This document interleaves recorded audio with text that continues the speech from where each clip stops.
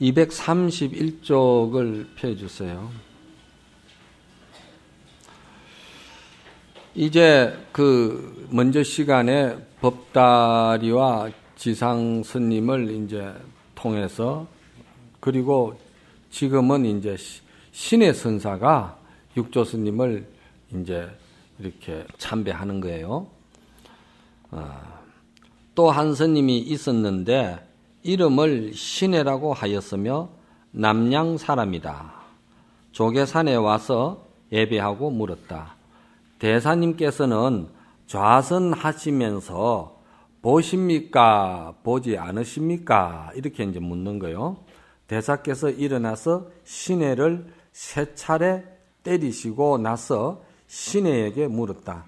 내가 그대를 때렸는데 아프냐, 아프지 않느냐? 이렇게 이야기를 했어요. 그러니까 신혜가 아프기도 하고 아프지 않기도 합니다. 육조스님께서 말씀하시기를 나도 보기도 하고 보지 않기도 하느니라. 이 말이 지금 말이죠. 이렇게 이제 짤막하게 이렇게 나오는데 요 출처를 찾아서 좀 이렇게 이야기를 들어야 이해가 갑니다. 이제 사실은 신해라는 스님은 685년에 출생하셔가지고 758년에 입적하신 스님이거든요. 그러면은 육조 해능 스님보다는 40한 5년인가 어, 육조 스님이 713년에 열반하셨거든요. 어, 그래서 이때가 신의 스님이 육조 스님을 이때 배울 때가 나이가 몇 살이냐면은요. 13살 때 육조 스님을 이렇게 배운 거예요. 그러니까 아주 어린 삶이에요. 그러니까 이 어린 삶이가 이 정도 이야기 한다는 것은 나름대로 상당히 정견이 이미 섰던 이야기예요. 근데 이제 참 이 신의 스님에 대해서는 하고 싶은 말이 참 많은데 그거 다 할 수는 없지만은 어떻게 보면은 이런 것들을 여러분들이 잘 아셔야 돼요. 신의 스님이야말로 육조 해능 스님을 육조의 그 법통 전성에 올려놓으신 분이다 이 말이야. 물론 해능 스님께서 본래 그 불지견을 갖춰서 그렇게 달마 스님의 전법을 개성할 만한 그런 그 어, 지혜를 활달하게 통달하신 분이지만은도 그분의 사상을 제자가 끝없이 끝없이 전성되게끔 그분을 그렇게 모든 만인들에게 인정받게끔 조도 역할을 해준 사람 중에서 가장 공덕이 크다 하면은 공력이 신의 스님인 거예요. 아, 그래서 이 뒷장에 가면은 그 법회가 육조 스님에게 스님께서는 법을 누구에게 전하십니까? 물어요. 그럴 때 육조 스님께서 하시는 말씀이 내가 떠난 뒤에 20년 뒤에 어느 한 정법을 세우고자 명을 걸고 나서는 자가 있다. 그가 이미 내 법을 전수받은 사람이다. 그러거든요. 그럼 그 20년 뒤를 뭐라고 그러냐면은 활대 대운사에서 무차법회를 열고서는 신의 스님이 북종선의 보적이든지 어떤 그 스님이든지 전부 다 모여라. 그래서 이 남종 동교의 사상과 법적으로 법거량을 한번 해보자. 이렇게 해가지고 신의 스님이 그걸 한 거요. 그래서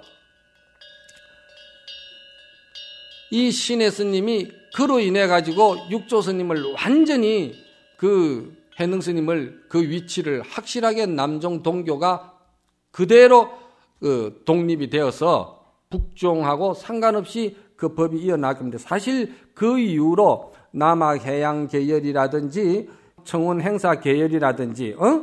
그러니까 마조 도일 석두 희천 우리가 이렇게 내려가면서 어 이쪽은 임제고 이쪽은 위양종으로 해서 또 조동종으로 해서 법안 어? 운문 이 5종이 나오잖아요. 그리고 임제 계열에서 항룡파 양기파 이가가 나오잖아요. 그러니까 5종 7가가 되죠. 이러한 것들이 사실은 그 공이 신의 스님의 공이 크다고 봐야 되는 거예요. 왜? 육조 스님을 그렇게 반석이 올려놨으니까. 그런데 참 아이러니한 이유가 있어요, 이게. 어, 이런 거를 잘 알아놓으셔야 돼요. 이 도낭보는요, 육조 해능 스님의 법문에 최초 이게 편집된 법, 법어집입니다.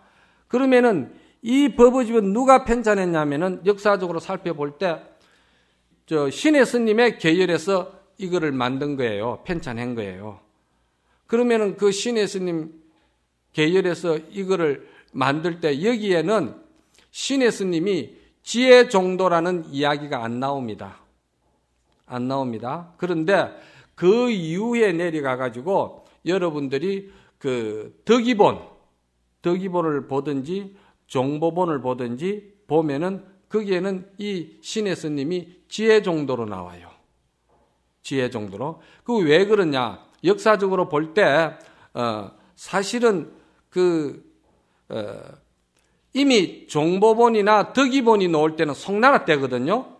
그때는 이미 마조 계통의 법통이라든지 석두 희천의 법통이 이미 법통이 다 정해졌어요. 그것이 법 정통설이 다 정해졌다 이 말이야. 그러니까 정해지면서 그쪽에서 또 하나의 그 법통설에 입각해 가지고 법을 만들어 놓다 보니까 이게 이제 신의 스님이 지혜 정도라는 그 그때 만드는 어록이기 때문에 덕이본과 종보본에는 지혜 정도란 말이 나오는 거예요. 어. 그러니까 신혜가 아주 이제 행편없이 되는 거예요. 또 한 가지 이유는 신의 스님의 그 법을 잇는 후손들이 끊겼다는 것이죠. 예? 그 끊긴 이유도 있어요. 그러나 그런 거를 다 이야기하면 너무 우리가 어, 그쪽으로만 자꾸 이제 치우치고 오늘 요 종지가 이제 자꾸 빗나가니까 짧은 시간에 그래서 그런 것들을 여러분들이 신의 스님이 지혜 정도라는 말이 이후에 나오고 여기는 나오지 않는다는 거. 그리고 또 우리가 지금 육조 단경을 볼 적에 가장 우리가 믿고 볼고 하는 것이 이 도낭본이에요. 그 우리가 도낭본을 만드는 그 어떤 그 가장 입김을 많이 쓰고 편찬의 역할을 한 신의 계열에서 한 도낭본을 보면서도 신의 선사는 지혜 정도로 지금 그렇게 인정이 되어 있는 말들이 많이 떠돌거든요. 어, 그래서 그런 면은 또 보는 입장에 따라 가지고 어떤 측면에서 그렇게 이야기할 수도 있고 그런 것이에요. 그러니까 그거는 여러분들이 모두 공부하면서 스스로 한번 또재또 점검해 볼 필요가 있죠. 왜 내가 이 말씀을 드냐면 조계대사 별전에는 보면은 어린 나이 13살의 사미가 어느 날 육조 스님이 법상에서 법문을 하는데 무슨 법문을 하느냐 하면은 본래 자성이 청전 본연하여서 그 청정 본연한 자성은 붉은 것도 아니고 푸른 것도 아니고 긴 것도 아니고 짧은 것도 아니고 아는 것도 아니고 모르는 것도 아니고 이러면서 계속 그 이제 어 육조 스님이 법문을 하면서 이것이 어떠한 물건인가 하고서는 성가기감에도 나오죠 이 말들이 그러니까 이제 이 이야기 법문을 하는 거예요. 이 법문의 내용의 요지는 뭐냐면은 육조스님께서 하신 말씀은 중도 정견을 드러내기 위해서 그런 거예요. 그렇죠? 중도 정견. 이 정도는 이제 아시죠? 네. 그러니까 중도 정견을 드러내기 위해서 이렇게 했는데 시내가 그 대중 가운데서 어린 사미가 손을 탁 들면서 그것은 모든 부처의 본원입니다. 이렇게 이야기하는 거예요. 그러니까 육조스님께서 본원이 무엇이냐? 그러니까 본원은 모든 재불의 본 불승입니다. 이렇게 이야기한 거예요. 그러니까 육조스님께서 내가 머리도 없고 꼬리도 없고 형상도 없고 잡을 수도 없고 이름도 없다고 했는데 너희는 어째서 이름을 세우느냐? 불승이라는 이름을 세웠잖아. 그러니까 시내가 바로 스님에게 하는 이야기가 불승은 본래 명자를 떠났습니다. 불승에는 명이 붙을 수가 없다 이 말이야. 상이 붙을 수가 없지요. 불승에는 정견으로 볼 때는 우리가 다 그거는 배웠잖아요. 그러니까 불승에는 명상을 떠났습니다. 그런데 이놈아 네가 어찌 응? 불성이라고 이름을 지었냐 하니까 선님으로부터 나왔습니다. 아주 내가 좀 각색은 했는데 선님으로부터 나왔다는 것은 내가 좀 각색했어요. 신의 스님은 뭐라 했냐면 스님이 물으니까 대답을 하려면 이름이 있어야 안 되겠습니까? 이렇게 나왔는데 조금 선적으로 하려고 하다 보니까 스님으로부터 나왔습니다. 그런 거예요. 그러니까 육조 스님이 보통이 아니거든. 어, 정견이 서가 있다 이 말이야. 그러니까 육조 스님이 그 자리에서 대중보론 앞에서 신혜를 세 번 때렸어요. 주장자를 가지고. 그리고는 버릇없는 놈. 그러면서 쫓아내면서 다른 대중도 다 흩어버리면서 어린 사미만은 남아라. 이렇게 된 거예요. 조계대사 별전에는. 그러니까 이제 사미가 이제 신의 스님이 남았어요. 남았더니 그때 이제 육조 스님이 사미를 불러다가 아, 불성은 받아들이는 것이 있느냐 없느냐 물은 거예요. 그러니까 신혜가 불성은 받아들임이 없습니다. 이렇게 이야기하는 거예요. 그러면은 내가 너를 아까 때렸을 적에 아프더냐 아프지 않더냐 그러니까 아팠습니다. 불성이 받아들임이 없는데 너는 어찌 아프다고 이야기를 하느냐 이렇게 하는 거예요.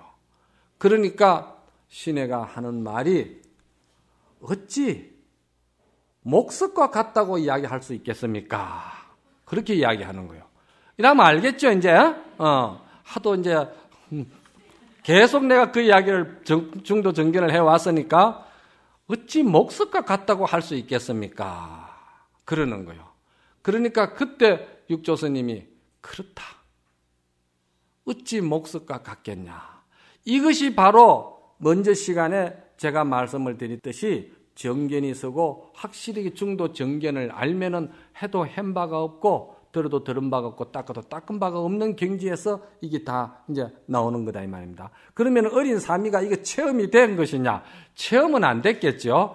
그래서 육조스님이 신에게 하는 말이 내가 그 무거운 돌을 걸머지고 디딜방아를 8개월 동안 찌으면서 그 고통이 이루 말할 수 없지만은 고통이라는 것이 나에게는 받아들인 적이 없다.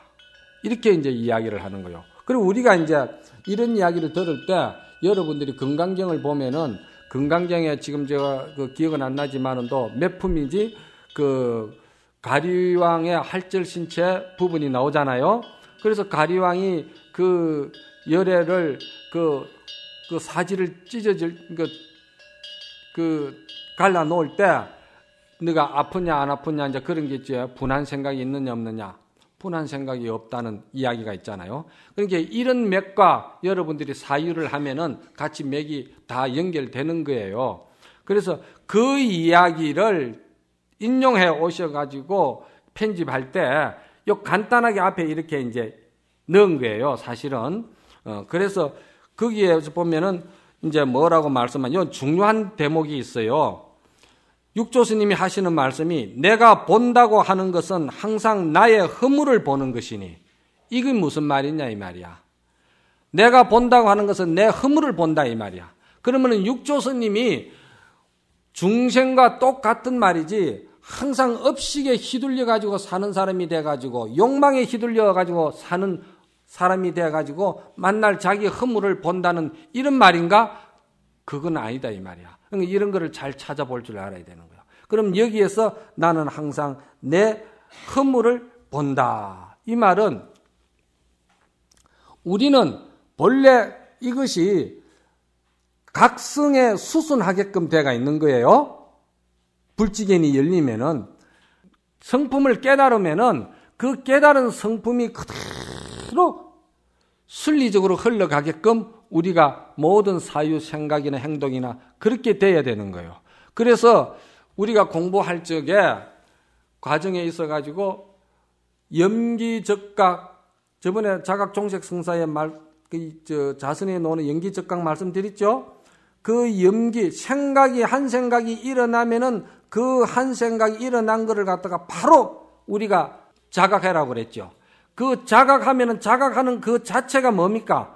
그 자체가 진여불성이고 우리 본연의 본성 자리거든요. 그러면 그 본성 자리 그대로 우리가 살아야 되잖아. 그렇죠? 살아야 되는데 우리가 정견이 안 서가 있을 때는 믿음이 약할 때는 그 본연의 그 불성이 그대로 그 아주 기운이 솟아 올라왔는데 그거를 우리는 그 집착에 그 항상 그 애착 가지고 있는 중생 업식을 붙들어 버리는 거예요. 그러면서 그 본성에 일어난 그 지혜 종자를 배신해 버리는 거예요. 알겠어요? 그게 뭡니까? 그게 허물인 거야. 알겠어요? 우리가 근본 자성계를 범해버린 거예요. 대성에서 말하는 근본 자성의 계라는 건 그런 걸 말하는 거예요. 소성에서 말하는 거는 행동적으로 나타난 거를 우리가 계를 이야기하지만은 이미 한 생각 중생 업식을 가지면 그게 응? 진성을 배반했다 이 말이야. 진성 반야 지혜를 갖다 배반해 버렸다 이 말이야. 그건 분명히 우리가 자각할 때는 진성 본성이 올라온 거예요. 나타난 거야. 드러난 거다 이 말이지. 그런데 그거를 우리는 믿지 못하고 그거를 배, 배반해 버린 거예요. 그러므로부터 8만 4천 지옥문이 열리면서 그 자리에서 우리는 8만 4천 육도를 윤회를 하는 거예요. 마치 원숭이가 이 나무 저 나무 치고 건너다니듯이 계속 아르마리로 분별식을 가지고 자기가 자기를 얽으면은 누에 고치와 같이 그 고통을 끌어안고 산다 이 말이야. 나는 그거를 항상 살핀다는 거예요. 이 대단한 거 아니에요? 이런 이 육조 단계 이래서 이게 동교 법문이라고 그러고 이거는 보통 정견이 서가 있지 않는 사람은 이거 못 본다는 거야. 그냥 잘못을 본다 하니까 내가 뭐 어? 욕심 냈다든지 뭐 어? 남에게 어? 처신 잘못하고 뭐 어떻게 이런 차원에서 하는 소리가 아니다 이 말이야. 그리고 하시는 말씀이 어, 보지 않는다고 하는 것은 하늘과 땅과 사람의 허물과 죄를 보지 않는 것이 하늘과 땅과 사람의 허물, 죄물을 보지 않는 그 죄를 보지 않는다는 말은 중생은 정견이 안서가 있으면은 항상 양변에서 모든 것을 갖다가 받아들이고 양변에서 옳고 그름을 가지고 이익을 따지고 자기 것이 되느냐 안 되느냐 집착을 가지게 되고 그렇게 되거든. 그러니까 그것은 참으로 알고 보면은 실체가 있는 것이 아니고 중생이 미혹돼 가지고 어리석어 가지고 스스로 지가 허공의 아지랑이를 있는 것으로 착각하고서는 지가 스스로 고통을 만들어서 지가 굴러 떨어지는 것이기 때문에 그거는 뭐 연민이 여기야 될 대상이다 이 말이야. 응? 공부하는 사람은 그런 거를 가지고 시비하지 말라 이 말이야. 그거는 모든 것이 허상이고 허구다 이 말이야. 그것을 나는 보지 않는다 이 말이야. 그 까닭에 나는 보기도 하고 보지 않기도 하느니라 이렇게 이야기하는 거예요. 그러면 여기서 보기도 한다는 것은 진성 본성을 본다는 이야기고 보지 않기도 한다는 것은 그런 양변에서 그런 것을 보지 않는다 이 말이야. 그 이거를 응용을 하면은 어떻게 될까요? 응용을 하면은 보는 것은 진공을 보는 것이고 그렇죠? 또 진공을 보고 또 우리는 진공이 바로 색이니까 색을 보죠. 그럼 색을 보면서 또 색을 보지 아니하고 진공을 보죠. 그러니까 보기도 하고 보지 않기도 하죠. 그러면 있기도 하고 없기도 하죠. 그래서 열방경에서 말씀하신 대로 본래 중도 정견은 있는 것도 아니요, 없는 것도 아니요, 있기도 하고 없기도 하다. 이렇게 정리하는 거예요. 그러죠? 네. 그래서 아프기도 하고 아프지 않기도 했는데 어떤 것이냐? 너는 말이지 아프기도 하고 아프지 않기도 하다고 했는데 너는 너 경지가 어떻느냐 이 말이에요. 그러니까 아프지 않다고 하면 곧 무정인 나무와 돌과 같고 아까 제가 말씀드렸죠. 그리고 아프다 하면은 바로 범부와 같아서 인의 원한을 일으킬 것입니다. 그런데 여기에서는 이제 양변에서 나오는 소리로 나와가 있어요. 그러니까 스님께서 신해야 앞에서 본다고 한 것과 보지 않는다고 한 것은 양변이다 이 말이야. 응? 양변이고 아프고 아프지 않으면 생멸이니라. 이렇게 이야기했거든요. 제가 아까 그 조계에서 별전에서 인용해 오면서 이야기할 때는 이때하고 뉘앙스가 좀 다르죠. 그때 이야기할 때는 제가 정견에서 그러한 쪽으로 뉘앙스를 가지고 여러분들에게 말씀을 드리고 여기에서는 완전히 시내가 양변에서 머물고 생멸에서 머무는 것으로 육조스님이 몽둥이를 치는 거예요. 어. 그러니까 그대는 자성을 보지도 못하면서 감히 말이지 와서 큰 스님을 희롱하느냐 이 말이야. 어? 이제 그러니까 신혜가 예배하고 더 말하지 않고 어, 물러났다는 것이죠. 그래서 이제 요 뒷 문구는 이제 여러분들이 아, 더 읽으면은 되겠고 그리고 오늘 이제 이렇게 참정 기연을 계속 이렇게 했는데 이 참정 기연에 또 한 번쯤 정리 정돈을 하고 넘어가야 돼. 그래 자꾸 이래 듣기만 하는 식으로 가버리면은 자기 어떤 그 법의 정견이 정리가 안, 안 됩니다. 그러니까 이제 우리가 사실은 육조 선님까지 이렇게 내려오는 이 모든 그 초기 선종의 선법이 시작이 어디로부터 시작이 되었느냐는 것이죠. 네? 어디로부터 시작이 됐죠? 어디로부터 시작이 됐어요? 달마스님으로부터 시작이 됐잖아. 아. 그런데 아, 달마스님에서부터 계속 이 정법이 육조스님으로 거쳐서 그 법이 단전으로 내려왔는데 달마스님의 오실 때 중국의 시대 상황이 어땠느냐 하면은 그때는 중국에는 인도에서 경전이 넘어가 가지고 그 경전이 넘어갈 때는 대승경전이 먼저 넘어가고 소승경전이 뒤에 넘어가고 뒤죽박죽이 됐어요. 그래서 중국 사람들이 굉장히 혼란했죠. 대승에서는 없다하고 소승에서 경전이 데 보니까 있다하고 이거 있는 것이냐 없느냐 좀 혼란스러운 거예요. 그래서 근 7, 800년이나 걸쳐 가지고 중국에서 가장 큰 일을 한 것이 교상 판석이라고 그러는 거예요. 교학을 잘 정리 정돈을 성격 따라서 한 것이죠. 이런 거는 다 아시죠? 그래서 그때 달마스님이 오실 때는 이 교학이라든지 율이라든지 이런 것이 절정기에 올랐던 거예요. 최고의 그 교학의 경지에 다 올랐어요. 그래서 그때 당시에 교학으로 말하면 천태학이라든지 어? 또그 어? 어, 하음학이라든지 하음경의 내용과 하음학은 다릅니다. 예. 법화경과 천태학이 다르듯이 물론 그 경전을 중심으로 해서 응용이 되고 논리적으로 잘 한 것이 학이잖아요. 그러니까 이제 어, 그 교학이 또 그 이후로 이 저 뭡니까 그 이저 어, 삼장법사에 들어가는 그 현장 스님 계시잖아요. 현장 스님도 육조 스님과 한 시대 동시대 사람이거든요. 그러면은 그때 당시에 그 법상종의 그 유식학이라든지요. 어?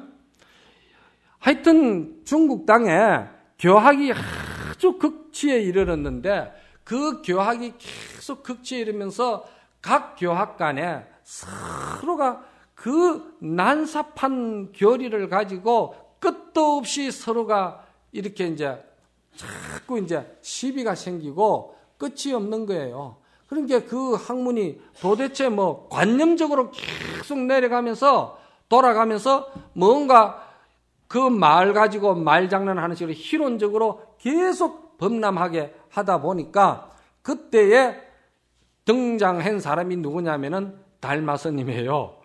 그, 어째 그렇게 다 하느냐? 정견이 다 썼으면은 체험으로 들어가야 될 거 아니냐? 그래서 달마스님이 한마디 하신 것이 직지, 인심, 견성, 성불이다. 그러니까 직지라는 말은 양변에서 하는 말이 아니고 정견에서 볼 때 직지는 중도 정견을 말하는 거예요. 곱게 가르킨다는 말은 유마경의 직지라는 말은 직심은 중도 정견 곱게 가르키는 걸 말하는 거예요. 그러면은 곱게 가르키는 중도 정견이죠. 중도 정견을 직지 인심이니까 사람의 그 본성을 바로 가리킨다 이 말이야.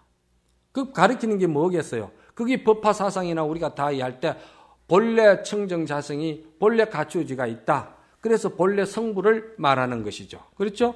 그래서 견성 성불이니라 자기의 본 성품을 그대로 보고 어, 불지견이 열린다. 이렇게 직진신 견성 성불을 이야기를 했거든. 그러니까 그 직진신 견성 성불이라는 것을 들었을 때 아, 대단한 말씀이잖아요. 그러니까 그때에 누가 찾아왔느냐면은 해가 대사가 찾아온 거예요. 그래 해가 대사도 그 해가 전에 이렇게 보면은요. 해가 대사도 경학이나 어떤 학문이나 제가 백가에 대해서도 굉장히 밝은 사람이에요. 학문에는 더 이상 갈 일이 없을 정도로 고수의 다리가 있는 사람이 해가 대사야. 그런데 해가 대사님이 그러면서도 뭔가가 석연치 않는 거야. 뭔가가 꼭지가 안 떨어지고 뭔가 생사 해결이 안 되는 거야. 밑구녕이 그냥 동이 밑구녕에 탁 빠지는 시원한 게 지금 자기 자신에게 없는 거야. 그런 그 교리적으로 학문적으로 굉장히 그 절정에 올라가 있는데도 목이 마른 거야. 그래서 이 양반이 직지인심 견성성불 한다 하니까 찾아가서 스님 불법을 어떻게 체달할 수 있습니까? 그러니까 불법은 밖으로부터 들어오는 것이 아니다. 그러므로 밖으로 구하지 마라. 그런데 그건 뭘 말하냐면 이미 해가스님을 알고 자꾸 이제 문자나 교학적으로만 자꾸 이제 그 관념적으로 그렇게 하니까 그, 어, 뭐라고 그래야 되나. 그, 어, 지필묵 위에서 돌을 구하려고 하면은 동정호 못의 물을 붓으로 찍어 말리고 하는 것과 같다. 이런 말이 있거든요. 어, 그러니까 이제 바로 네 안에 내심을 들여다보라 이 말이죠. 그러니까 저 지금 내심은 많이 고통스럽고 괴롭습니다. 그랬잖아요. 그러니까 고통스럽고 괴로운 것을 너가 나에게 가지고 오너라. 어떤 것이 고통스럽고 어떤 것이 괴로운 것이냐. 이렇게 이야기가 된 거예요. 그러니까 해가스님이 사실은 찾아도 그 고통스러운 것은 괴로운 것은 찾을 수가 없습니다. 이 말은 뭔 말이냐면은 그런 것들은 다 실체가 없는 것이고 내가 스스로 미혹해서 착각해서 내가 그대로 고통을 만드는 것일 뿐이지 진여 본성에는 그런 게 없다 이 말이거든요. 그 말씀을 하려고 지금 그, 그 달마스님은 해가 대사를 다루는 거예요 지금. 그러니까 찾아도 찾을 수가 없습니다. 그러니까 없으면 그냥 없는 것이지.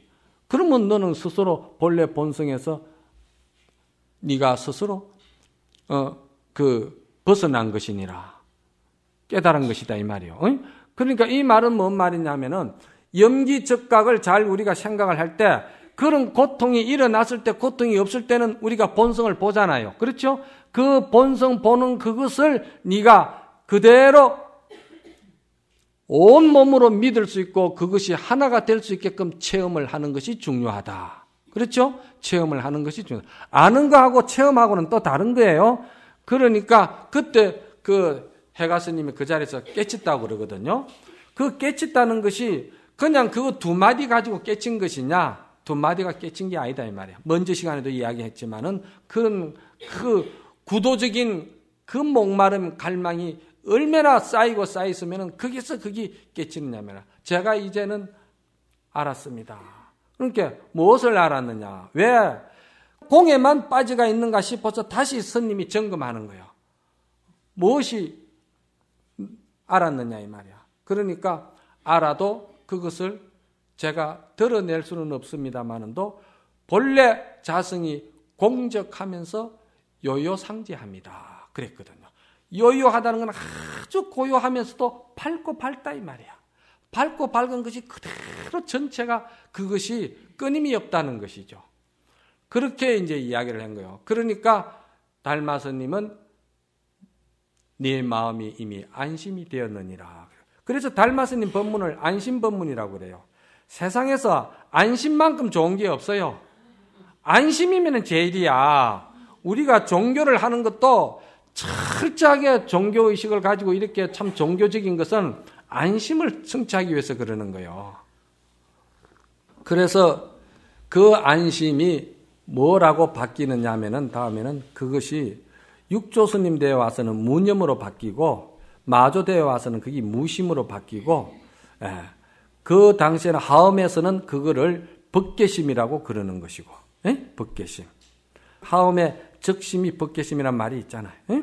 그러니까 여기서 그 적심이라 하는 적심은 정견이 서가 있지 아니하고 불지견이 열리지 아니할 때 미혹된 중생의 마음을 그 마음을 적심이라고 한 거예요. 그 적심이 그대로 무심이니라. 그대로 안심이니라. 이렇게 이야기가 된 거예요. 그렇게 그렇게 사상적으로 이렇게 딱 되는 거예요. 그러니까 교학이 그렇게 음, 절정에 이르렀는데 그 교학의 마지막에 가서 동이 밑구녕을 떨궈주는 것은 이러한 선사의 결정적인 그 어, 중요한 그 한마디 그것은 그 불조의 해명을 드러내는 그냥 중도 정견의 한 말씀이거든요. 어? 그러니까 이 한 말씀이 사실은 동이 밑구녕을 빠뜨리니까 후세 사람들이 잘못 착각해가지고 그것만 붙들고 우리가 공부하려고 하면 안 되는 거예요. 나도 그것만 붙들고 엄청난 많은 세월을 방황하고 세월을 많이 보냈다 이 말이야. 선을 하면서. 그렇죠? 그래서 결국은 그러한 그 적심이 무심인이라 하는 그 말은 그냥 놓은 것이 아니고 그런 많은 정견의 쌓임의 결론에서 서로 융화되는 가운데서 그 말이 결정적인 지견이 나오는 것이지 그렇지 않고는 그 지견이 안 나오는 거예요. 그랬을 적에 다음 대에 누가 나오죠? 해가 스님 밑에 성찬 스님이 나오잖아요. 성찬 스님은 이 저 뭡니까 풍병이 걸려가 저 문둥병이라고 그러죠. 걸려가 있는 분이에요. 그러니까 굉장히 고통스러워하고 힘들어하죠. 그러면서 그분은 그 제가 그분의 공부했던 쪽을 제가 그 몇 번 다녀왔습니다만은도 그분은 사실은 동굴 같은 데서 공부를 많이 했어요. 그리고 대승경전을 많이 보고 이분이 그 이 저 신신명이라는 그 책이 있잖아요. 그 신신명을 보세요. 중도 정견만 다 나열해 놓은 것이거든요. 그러면 이분이 대승경전을 보지 아니하고는 그런 것이 나올 수가 없는 것이죠. 모든 것이 부처님의 중도 정견 진리에 맞게끔 여법하게 그 신신명이 엮어진 거예요. 그렇죠? 그러니까 이분은 문둥병이 있다 보니까 사람들 앞에 나서지를 못하니까 항상 숨어서 응거 생활을 하면서 공부를 많이 하신 거예요. 그런데 마지막에 그 동이 밑군형을 그 빼기 위해서 그 해가 대사를 찾아간 거죠. 그런데 해가 대사도 역시 그 스승의 달마스님과 같은 그런 그 어? 방법으로 이 삼조를 다루는 것이죠. 네가 그렇게 죄가 많다고 그러면은 그 죄를 나에게 열어 놓아라 그러는 거예요. 그런데 사실 그 죄는 어디서 온 거예요? 전부 다 양변에서 온 거잖아요. 그렇죠? 양변. 정견을 모르면은 어쩔 수 없이 양변에서 머물 수밖에 없는 거예요. 그러니까 그 양변에서 온 거니까 양변은 실체가 없는 것이니까 찾아도 열어놓을 수가 없고 본래 볼 수가 없습니다. 그러면은 너는 이미 모든 참회가 되었느니라. 그러거든요. 그러면서 앞으로 불법성 삼보에 기하도록 하거라. 이렇게 이제 이제 그거는 이제 당신 법통의 제자로서 계를 주는 것이죠. 어? 세속인으로서 그때만 해도 율종에 밀려가지고 선종이 자리를 못 잡고 교종에 밀려가지고 선종이 계속 이렇게 그 저 물에 그 부초 떠다니듯이 아주 생활이 이렇게 해상을 만들어 놓고 그렇게 정진하고 그러지를 못했어요. 선종이 달마스님 이후로는 달마스님도 그렇게 떠나신 이유를 갖다 여러분이 다음에 공부하시면은 달마스님이 가신 그 사연을 여러분들이 대강 아시잖아요. 그러고 해가스님이 입적하실 때 어떻게 가실다는 것도 아시잖아요. 그런 거는 이거 내가 공개적으로 이야기할 수 없지만 그렇게 가신 분들이다 이 말이에요. 그렇잖아요? 그러니까 그때 당시에는 율종과 교학에 의해 가지고 선종이 계속 이렇게 자리를 못 잡고 이렇게 이제 밀전돼 가면서 이렇게 됐던 거예요. 그러니까 그때 이제 스님께서 인가를 해주면서 불법성 삼부에 기여하니까 성은 제가 봤습니다. 해가 스님을 보니까 성은 알겠다 이 말이죠. 불은 뭡니까? 본성이 청정한 것이 불이니라. 법은 뭡니까? 법은 모든 것을 청정한 자리에 8만 4천 공덕을 피해내는 것이 법이니라. 그랬거든요. 중생업식에서 8만 4천 법이 나오는 건 아니거든요. 그 공성에서 그 청정 본성 자리에서 8만 법이 나오는 거다 이 말이요. 그래서 그 방편은 법에서 나왔기 때문에 사실은 그 부처님의 경전을 통하고 공부를 하면은 법으로 그 길은 같은 맥이니까 간다 이 말이지. 그래서 그 불과 법과 성이 잘 융화되는 것이 그것이 바로 중도 연긴이라 이렇게 이야기를 한 거예요. 그게 이제 중도 정견이다 이 말이요. 그러니까 그 다음에 그 해가 스님이 삼조 스님에게 무슨 말씀을 하시느냐 하면은 불법성 정견을 알기 전에는 그 중생의 온심이 제가 있다고 생각하고 막 괴로워하는 그 뭐 다 뭡니까? 그게 온심이잖아요. 색수상 행식이잖아. 그렇죠? 그 온심이 원정 열반입니다. 이게 전부 다 뭔 도리냐면은요. 보리달마의 그 사상을 받은 말이죠. 응? 반야 사상과 부처님이 경전에 말씀하신 반야 사상과 또 열반경의 불성 사상과 에? 이런 것들이 다 겸해지가 있는 거예요. 어? 또 달마 스님이 해가 스님에게 전해준 경이 있지요. 능가경이잖아. 능가경 사상이 들어가 있는 거예요. 능가경 사상이 뭡니까? 열애장 사상이거든. 그렇잖아요. 열애장 사상이라고 해서 능가경이 점수법이라고 이야기하면 안 돼요. 정견이 열려가지고 능가경을 보면은 능가경도 역시나 반야사상이나 불성사상이나 똑같은 돈법을 이야기해 놓은 거예요. 그거를 이제 정견이 안 열릴 때는 점수로 이제 뭐 모든 그 법이라는 거는 상대 근기에 따라서 전법을 설할 수도 있어요. 저도 그렇잖아요. 여기서 이렇게 법문할 수도 있고 제가자를 위해서 법문할 때는 또 법문이 전법이 되고 또 여기보다도 더 상승, 최상승 성구 도리로 나갈 때는 개개도리로서 일체 모든 명과 상을 세우지 않은 본성에서 그냥 살불살조하는 또 최상 도리를 드러내고 이게 다 그런 거예요. 그렇다고 해서 제가자를 위해서 전법을 이야기했다 해서 저 사람은 어? 점수인이다? 법이 낮다고 이야기할 수는 없는 거예요. 그래서 이 오음 색심이 바로 원정 열반이다. 이렇게 이야기 정리를 해준 거예요. 그러니까 삼조 스님이 그걸 듣고서는 그 다음에 누구예요? 사조 도, 도신대사잖아. 사조 도신대사도 역시 성찬 스님을 찾아와 가지고 무슨 말씀을 하느냐면은 제가 사실은 뭔가가 자유롭지 못하고 법에 자유롭지 못하다 이 말이야. 법을 대강 이해는 하겠는데 그 법대로 한번 살려보려고 풀어보려고 하니까 자유롭지 못하고 뭉낀다 이 말이야. 자꾸 아주 확달하게 그 관자재가 안 된다 이 말이요.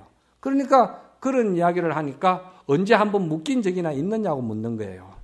성찬 스님이 너가 너를 묶었느냐 이렇게 묻는 거예요. 그러니까 묶은 적이 없습니다. 그러면은 너는 벌써 자유 몸이 아니냐. 이렇게 그 법이 성격이 내려오는데 이건 하나의 이제 그 간단 간단하게 제가 짧은 시간에 사상적인 것이 어떻게 내려오는 거냐를 정리정돈해 주는 거예요. 그랬을 적에 그 삼조 스님은 도신대사에게 뭐라 하냐면은 삼조의 신심에 보면 첫머리가 뭐죠? 지도는 무난이라. 지극한 도는 어려운 것이 없느니 유행 간택이니라.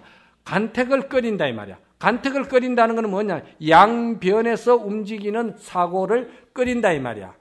양변에 집착한 것을 나는 끓인다 이 말이야. 그러면은 지도는 무난이요 유행 간택이니 단막 정해하면은 정해라는 것은 사랑하고 미워하는 거잖아. 양변이잖아요. 그 양변에서 초월할 수 있을 것 같으면은 통년맹백한다는 말이 중도 정견이 열린다 이 말이래. 그러면 마지막에 신심맨 끝에 가서는 신심이 불이요 불이 신심이라고 정리를 딱 내려버리거든. 그건 뭐냐 하면은 우리가 본래 본요대가 있는 불성을 믿지 않은 데서 지금까지 우리가 윤회를 하고 흘러오고 중생으로서 머물고 있는 것이지 믿음에는 사실 더 이상 흐를 것이 없는 거예요. 믿지 못해서 그런 거예요. 그래서 하원경에도 10만이라고 그랬잖아요. 발끝에서 머리까지 믿음이 꽉 차버리면은 그 즉시에 발심이 그대로 변정각이다 그랬거든. 하원경에는 그런 말이 있잖아요. 거대한 말이지. 거대한 불성의 바다에, 거대한 불성의 바다에 한 방울의 종자인이 떨어졌다. 그건 뭔 줄 아세요? 종자인이 떨어진데 그걸 잘 응? 관하고 지키라 이 말이야. 그건 한 방울의 물이 뭡니까? 그것이 바로 발 안욕 따라 삼막 삼보리의 발심종자를 말하는 거예요. 발심종자, 발심은 믿음을 말하는 것이지. 그렇잖아요. 그 보리심이라는 것은 보리심은 깨달을 각자잖아. 그렇죠? 그 깨달음을 내가 비로소 지금 받아들인다고 생각할 때 받아들인다고 일으키는 발심도 오직 마음에서 하는 일이요. 안욕따라 삼마삼보리의 불지견도 그 마음이다 이 말이야. 그러니까 그게 둘이 아니기 때문에 상적 상입이 될 수도 있고 그것이 중생이 바로 부처로 들어가는 반야 사상이 거기서 나오는 거예요. 왜? 그 자리가 공적하기 때문에 중생이 부처로도 들어가 버리고 공적하기 때문에 부처가 중생으로도 뛰어나오는 거야. 이게 그렇게 되는 거예요. 그래서 신심이 불이요, 불이가 신 믿는 마음이 그대로 그 본연의 정각 자리고 그 믿는 마음과 정각은 둘이 아니다 이 말이야. 그렇게 정리를 해줬고 그러니까 도신대산 밑에 누구예요? 어? 홍인이잖아. 홍인은 지금 뭐 이야기가 참 맞는데 재송도인이라 해가지고 전생에 다 저게 도신대사하고 만났던 분인데 근데 어린 나이에 그 홍인을 다시 이제 몸 바꿔 오라 하니까 이제 다시 만났잖아요. 만났는데 네 성이 뭐냐 하니까 내 성은 좀 있기는 있습니다만은 드러낼 수는 없습니다. 그러니까 무슨 성이길래 그래 드러낼 수 없느냐? 불성입니다. 그러는 거예요. 어, 불성. 그러니까 사조 스님이 불성 그게 있는 것이냐? 물은 거예요. 다시 이제 점검에 들어가는 거죠. 불성 그거 있는 것이냐? 그러니까 불성은 있기도 하고 없기도 합니다. 그렇게 이야기하는 거예요. 이게 전부 다 중도 정견을 가지고 내려오는 거예요. 그렇죠? 그게 아니면은 이게 예, 사상적으로 뭐 이렇게도 표현하고 저렇게도 표현하지만도 결국 그것이 다른 게 아니에요. 중도 정견 하나 가지고 내려오는 거예요. 그러니까 그 오조 홍인 대사는 사조로부터 인가를 받고 또 오조는 다음에 누굽니까? 지금 여기에 육조 해능이잖아요. 육조 해능 스님을 만났을 때 응, 남방 무지랭이가 말이지 네가 무슨 불법을 응, 성취하겠느냐 짐승 같은 놈아 이랬거든요. 그러니까 사람에게 있어, 있어 가지고는 응? 고급 있고 저급이 있고 남 사람 있고 북 사람이 있고 어? 부기가 논하지겠지만은도 불승에 무슨 양변을 가지고 들미기느냐고 이제 대드는 거야. 불승 문남북이라는 말이 그게 아주 유명한 말이야. 열반경을 보지 않고서는 불승 문남북이라는 용어를 육조 스님이 어째 썼겠느냐 이 말이야. 불승에는 문남북입니다. 다 그랬거든요. 그러니까 보통이 넘거든요. 그래서 데리다가 밤에 가리킨 것이 건강경 아니요. 그래서 억무소주 이생기심 머무는 바 없이 그 마음이 일어난다. 에? 그거 잘 들어야 돼요. 머무는 바 없이 마음이 일어난다. 중도 정견을 바로 이야기하는 거야. 그러니까 그것을 육조스님은 뭐라고 정리했죠? 그것을 육조스님은 바로 정과 해로서 정리한 거예요. 마음이 불승이 뭐냐? 정과 해입니다. 이렇게 탁 해봐. 정의 일체를 시킨 거예요. 그러니까 그 북종선에서는 정과 해를 분리시켰죠. 정으로 인해서 해가 바라고 그렇죠? 이렇게 이제 해로 인해서 또 정이 바란다고 분리를 시키한 그러한 음, 사상적인 것을 갖다가 그 북종선에서 신수 스님이 그러한 그 점수법을 이야기를 했어도 신수 스님은 오조 홍인 문화에서 능가경의 홍인 스님과 대담을 나눌 때 아주 신수야말로 시원스러운 맛이 있다고 능가 사자기에 그런 표현이 나와가 있어요. 그렇기 때문에 신수 스님도 상당히 돈법에 밝은 사람이에요. 그래서 상대 근기에 따라서 돈법을 이야기할 때는 돈법을 이야기하고 또 어리석은 사람에게는 점수법을 이야기를 하고 이렇게 큰 자비로 가지고 그때 다 부처님도 수기설법이잖아요. 부처님이 돈법을 몰라가지고 45년 동안 이렇게 많은 장경을 열어놓고 이렇게 그거 한 건 아니거든요. 그러니까 여러분들이 돈법이라고 해서 저하로 보고 돈법이라고 해서 그렇게 보고 차별심을 내는 자체가 잘못이고 저 법문이 상대 근기에 따라서 그렇게 큰 자비의 방편문을 다양하게 여는구나 하는 것을 갖다가 우리가 그거를 잘 알아야 되는 거예요. 그거를 이해할 수 있어야 돼. 그래서 그 정해가 일체된 것을 갖다가 스님은 육조 단경에서 뭐라고 한 글자로 정리를 했냐면은 무념으로 정리를 한 거예요. 개정해라는 것을 갖다가 뭐라고 했죠? 심지무비 개요, 심지무난이 정이요, 심지무치가 해다 이 말이요. 개정해가 별거냐 이 말이야. 개정해가 대승계로서 볼 때 내 자승의 본래 진성의 그 응, 자각이 되었을 때 그 진성을 저버리지 아니하면은 그건 내가 개를 범한 것이 아닌데 그 진성을 갖다가 내가 저버리고 중생 업식을 쫓았고 중생 업식을 따라갔기 때문에 자승계를 내가 범해버린 거야. 그렇죠? 그리고 본래 성불된 그 본성을 철저하게 내가 믿고 흐트러짐이 없기 때문에 그것은 자성문안 어지름이 없는 것이 정이다 이 말이에요. 그리고 그 자성에서 조금도 그 공에 머물지 아니하고 일체 중생을 위해서 내가 전법하고 포교하고 요익하고 중생을 위해서 보살행을 저작거리에 나가서 어떤 중생이라도 그 근기에 맞게끔 다 수천만 가지의 차별법을 가지고 중생 근기에 맞게끔 다 이렇게 열어주고 하는 것이 그것이 다 어디서 나오느냐? 오직 내 마음에서 유심에서 나온 것이다. 어? 그래서 그 개정해가 오로지 이 마음 무념 하나에서 노는 것이다. 그 무념을 건강경에서는 뭐라고 그랬죠? 안욕따라 삼막삼보리라고 그런 거예요. 그 안욕따라 삼막삼보리가 뭐예요? 무유정법이잖아. 정한 법이 있음이 없다는 말이거든. 그 왜 그러냐? 중생 근기에 맞춰서 일기일회로 그때그때 맞춰서 쓴 것이기 때문에 그거는 전부 다 내가 한 말은 뗏목이니라 그런 거야. 뗏목 짊어지고 다닐 일은 없잖아. 그때그때 다 쓴 것이다 말이야. 그걸 가지고 상승인이다, 돈법이다, 전법이다 이야기할 것은 아니다는 것을 갖다가 이 육조 단경의 참정 기연에서 그나마 내가 이렇게 좀 정리를 한번 하고 넘어가야 된다는 걸 의미해서 이걸 정리를 했습니다. 예, 오늘 시간 이대로 마치겠습니다. 아, 잠깐만, 잠깐 앉아주세요.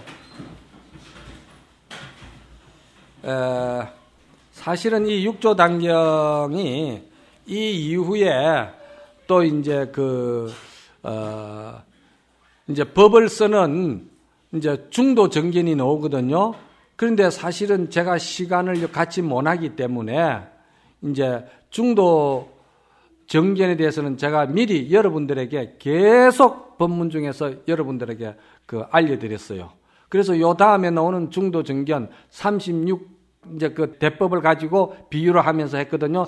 양변을 다 인정을 하면서 양변에 머물지 아니하고 양변을 초월해 가지고 중도 정견을 쓰는 것을 36대 법이라고 그러는 거예요. 별 어려운 거 아니에요. 그리고 그 다음에 나오는 것이 법통설이 나와요.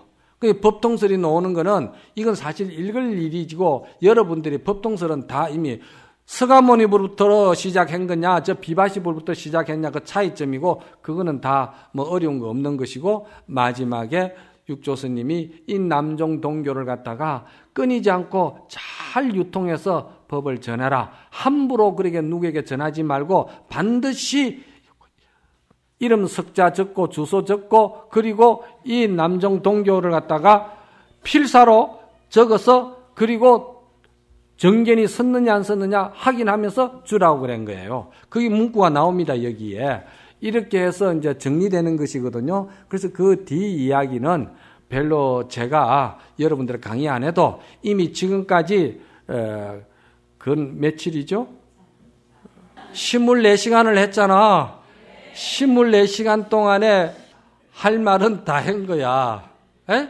그러니까 그거를 여러분들이 잘 듣고 또 이해가 안 가는 사람은 테이프로 다시 나중에 또 들으면서 단경에 대해서는 이해가 갈 수 있도록 하고 또 이거 정견이 잘 서면은 또 이제 어 여러분들이 다른 경전도 공부하면서 또 되고 또 모르는 거는 밑줄 꺼놨다가 또 여러분들이 훌륭한 강사 스님들에게 또 다시 어 재차 또 배우고 또 요 하긴 뭐 한반에는 이제 예를 들어서 그 하잖아요. 졸업하면은 또 선방에 가는 사람들이 있을 것이고 더 공부를 전문적으로 가는 사람들도 있을 것이고 또는 스승과의 그 지중한 은혜를 또 잘 이렇게 이용하기 위해서 졸업하고 가면 또 스승이 또뭐 살림을 좀 몇 년이라도 보라고 할 거 아닙니까?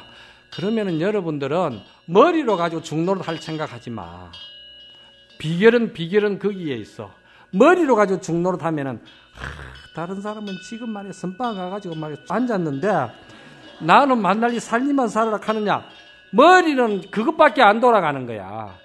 불교가 머리로 돌아갈 것 같으면은 발길에 차 있는 게 전부 다 도인이야. 여러분들이 지금 공부를 하는 것은 머리로 공부를 하지만은도 그 머리 불교가 가슴으로 들어가야 돼. 가슴으로. 오늘 내가 그 이야기까지 다 해주려고 그랬는데 시간이 쫓기서 그런데 이게 가슴으로 들어가 가지고 모든 불법과 수행이 가슴에서 나와야 돼. 그 가슴이 뭐냐면은 내 진정 발심한 원력과 그 믿음의 그 발보리심이거든. 그 발보리심에서 움직일 때는 누가 빠르고 늦고가 없어요. 옛날에 저 뭡니까 그저 삼장법사를 따라서 어 그 중국에서 인도를 말이지 갈 때 그 어, 고비 사막을 넘어가자면은 가다가 죽는 사람이 수없이 많아요. 그러니까 이정표도 없어요, 그게는. 죽은 해골이 그냥 이정표야. 그렇게 가는데 목이 말라서 두 소반이 가다가 목이 말라서 죽게 됐는데 마침 이렇게 조그마한 물이 하나 있는데 그 물 속에 물을 먹으려고 보니까 거기에 많은 생명들이 그 물을 의지하고서는 자발자발 자발 들 앉아 있더라는 거예요. 그러니까 그 물을 마셔버리면 그 많은 생명들이 다 죽는 거야. 그런데 머리로 가지고 불교를 생각할 때는 이것들이야 죽든 말든 내가 좀 먹고 인도로 가야 안 되겠느냐. 부처님을 배우러 가야지 생각을 한 거야. 그러니까 한 사람은 부처님은 난 내가 볼 때 부처님은 살생하지 말라고 그랬고 부처님은 살심을 가지지 말라고 그랬다. 그러면은 그걸 성취하기 위해서 부처를 보러 가면서 내가 어째 살성하고 살심을 가지고 부처를 찾아 쫓아가겠느냐? 나는 안 먹겠다. 먹지 마라, 니노. 나는 먹겠다. 그래가지고 그 사람은 먹고 이 사람은 안 먹고 안 먹은 사람은 어째 죽었어요. 먹은 사람은 그걸 먹고 부처님을 배우러 간 거야. 부처님을 배우러 가서 부처님을 딱 배우니까 아니 고비 사막에서 죽어야 될 사람이 부처님 옆에 가서 딱 앉아 있는 거야. 이게 하는 상징적인 이야기예요. 무슨 이야기냐? 우리 불승의 모든 작용은 아까 제가 각성이 수순한다는 말을 했잖아요. 깨달은 그 성품이 좋아하는 일들이 있어요. 그 일들이 뭐냐면은 전부 다 마음을 비우는 것이고 착한 마음이고 가슴에서 우러나오는 발심이고 가슴에서 나오는 불교예요, 그게. 머리에서 나오는 게 아니라니까. 그러니까 머리에서 불교가 나와서 머리에서 항상 뭘 하려하면은 만날 비교가 되는 거야. 저거는 지금 뭘 하고 있는데 나는 지금 이 지경인가? 이렇게 되는 거야. 불심은 어디서 이루느냐면 가슴에서 이루는 거예요. 마음에서. 그 마음이 직심이 도량이다 이 말이야. 어느 처처소소에 가 있더라도 이 정견만 서가 있으면은 내가 안전자리 선자리에서 항상 자기를 반조하면서 나에게 부딪히는 경계를 항상 감사하게 고맙게 생각하면서 내가 부처가 되라고 이런 경계가 오는구나. 그러면 그 경계를 쫓아서 내 자성을 반조해 보는 거예요. 그러면은 앉는다고 선이고 서가 있다고 선이 아니냐 이 말이야. 마음은 앉는 마음이 따로 있고 선 마음이 따로 있느냐 이 말이야. 그러니까 여러분들은 머리로 가지고 공부하지 마. 지금은 머리로 가지고 공부 안 할 수가 없겠지. 애써야 되겠지. 그러나 그것이 시기가 지나면은 그것이 전부 다 가슴으로 들어가게끔 만들어야 돼. 왜 그런 줄 아세요? 속인들도 남녀 간에 사랑을 할 때는 뭘로 하는 줄 알아? 머리로 사랑하는 줄 알아? 머리로 가지고 사랑하면은 이틀도 못 만나. 서로 이해관계를 따지고 저기 이익되나 손해되나 싶어가지고 도움이 될 것 같으면 만나고 안 그러면 못 만나기 때문에 안 만나는 거예요. 그렇잖아요. 그런데 힐이 가버리면은 남녀 간의 사랑도 가슴으로 만나게 되는 거야. 그 사랑이 어디로 도느냐면 머리로 도는 게 아니고 가슴으로 도는 거야. 가슴으로 돌아왔기 때문에 부모가 생각해 볼 때 너 그거 만내지 마. 만내지 마라 하는 건 이해관계를 따지는 것이고 옳고 그런 걸 따지다 보니까 그건 뭐냐면 머리 사랑이거든. 그렇잖아요. 머리 사랑을 가지고 가슴으로 들어온 사랑을 갖다가 끊으려고 그러니까 그게 안 끊어지는 거야. 스님이 무슨 말을 하려고 하는지 알아요? 우리가 가슴으로 들어온 신심이고 불심이고 공부고 그렇게 종교적인 생활이 돼야 그거는 내보낼 수가 없고 없앨 수가 없는 거야. 머리가 내보내고 싶고 머리가 없애고 싶어 한다고 해서 가슴이 들어주느냐 안 들어줘. 머리로 들어오고 머리에 머무고 있는 것도 뭐 머리로 가지고 비교하면서 아, 내 얘 있으면 안 되겠다. 도망가야 되겠다. 이 생각이 머리에는 나와요. 그러나 그게 도망가봤자 가봤자 조계종 산에 떠날 데도 없어. 거기가 거기야.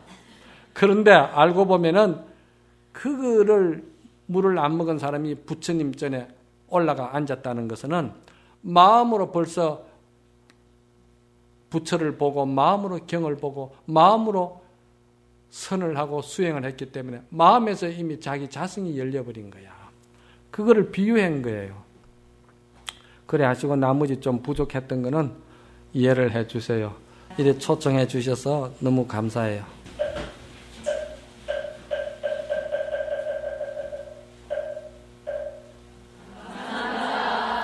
성불합시다.